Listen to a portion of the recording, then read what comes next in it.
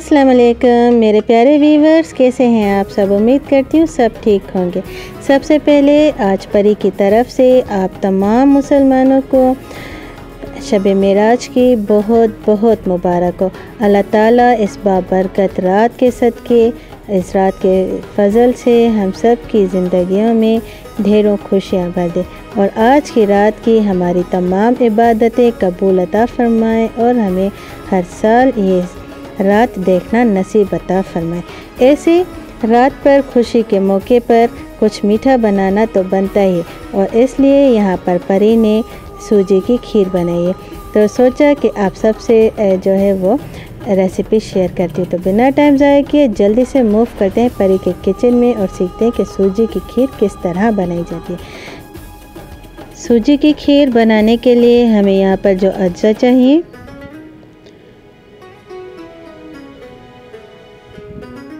यहाँ पर मैंने चीनी ली है, तकरीबन हाफ़ कप के करीब होगी।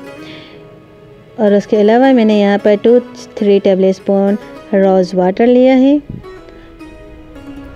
और यहाँ पर ड्राई फ्रूट में पिस्ताशो और वॉलनट्स यानी अखरोट। और यहाँ पर काजू यानी क्या? और यहाँ पर बादाम। और यहाँ पर मैंने तमाम ड्राई फ्रूट को इस तरह क्रश कर लिया। यहाँ पर मैंने सूजी ली है हाफ़ कप के करीब होगी।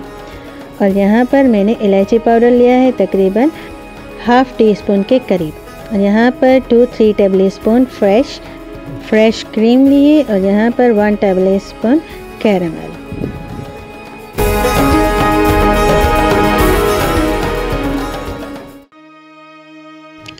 और यहाँ पर मैंने one and half litre fresh milk लिया है।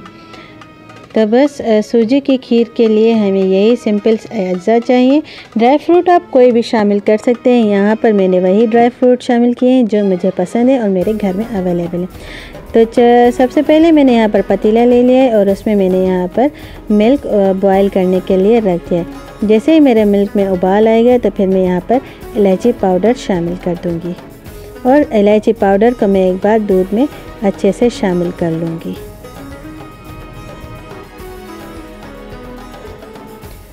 और यहाँ पर मैं इसे एक बार अच्छे से चला लूँगी और दूध में एक अच्छा सा उबाल आने देंगे इस पॉइंट पर।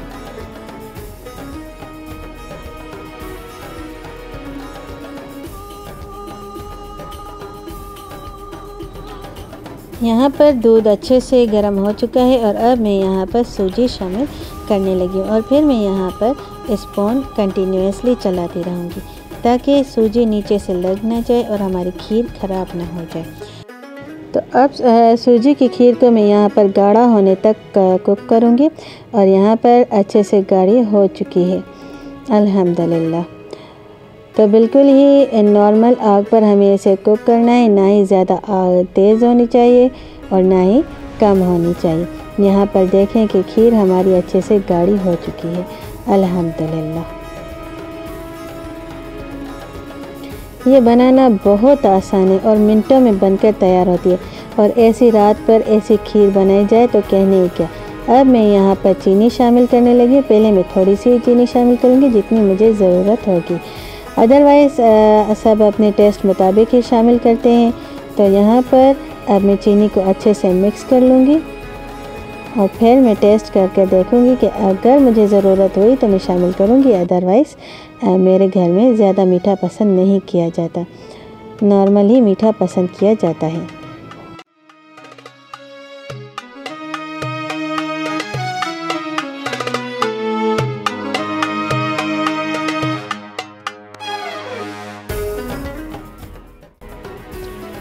तो मीठा तो सही है और अब मैं यहाँ पर कैरामल शामिल करने लगी कैरामल से इस खीर का कलर भी चेंज होता है, बहुत प्यारा कलर आता है और टेस्ट भी बहुत अच्छा आता है। तो कैरामल बनाना भी बहुत आसान है। यहाँ पर अब मैं इसे अच्छे से जो है वो मिक्स कर लूँगी।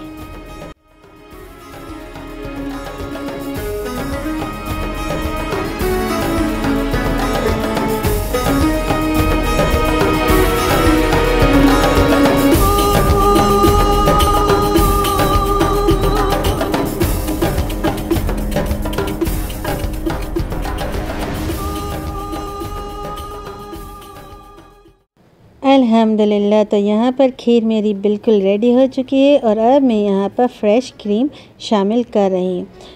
कोई भी डेज़र्ट बनाएँ तो यहाँ पर सिंपल टिप पर ही आपको दे रही है कि आप कोई भी डेज़र्ट बनाए तो यहाँ आप इसमें फ्रेश क्रीम ज़रूर शामिल करें। उससे टेक्सचर बहुत प्यारा आता है और क्रीम शामिल करने से हमारा हर डेज़र्ट खीर हो या कोई और डेज़र्ट हो।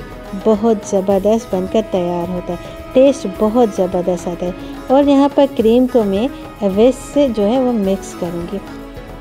विस्क से जो है वो क्रीम मिक्स करना बहुत इजी होता है और बहुत ही जल्दी मिक्स हो जाती है। अब मैं यहाँ पर फाइनल में रोज़ वाटर शामिल कर रही हूँ। और रोज़ वाटर शामिल करने से हमारे खीर में एक अच्छी ज़बरदस्त सी महक सी आने लगती है। तो रोज़ वाटर जो है वो ऑप्शनल है। आप चाहें तो डालें, चाहें तो स्किप भी कर सकते हैं। लेकिन मुझे खीर में रोज़ वाटर डालना अच्छा लगता है, इसलिए मैं यहाँ पर मिक्स करती हूँ।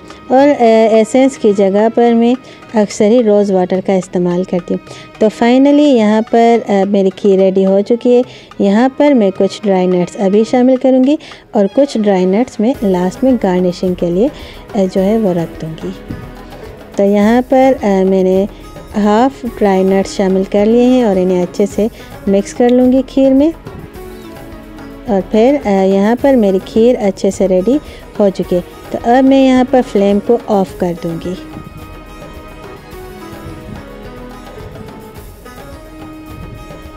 फाइनली मैं इसे डिश आउट कर लूँगी। अल्हम्दुलिल्लाह देखें कितना ज़बरदस्त कलर आया है और कितनी ज़बरदस्त खीर बनकर तैयार हुई है। आप एक बार ज़रूर ट्राई करना और परी को बताना कि कैसी लगी। खुशियों के मौके पर जैसे शब में मेराज, शब बारात, ये इन रातों से मैं समझती हूँ कि कोई और रात हम मुसलमानों के लिए कोई भी बड़ी नहीं होगी। इन रातों की अपनी ही बात है और ऐसी रातों में ऐसा मीठा बन जाए तो क्या नहीं क्या। अगेन एक बार फिर कहूँगी कि आप सबको परी की तरफ़ से शब मराज की बहुत बहुत मुबारक हो।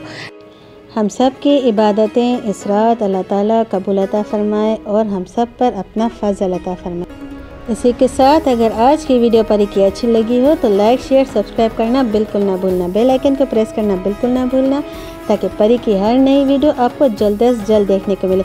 इसी के साथ, परी को और उसकी फैमिली को रखिएगा दुआ में याद। बहुत सारा प्यार। अल्लाह हाफिज़।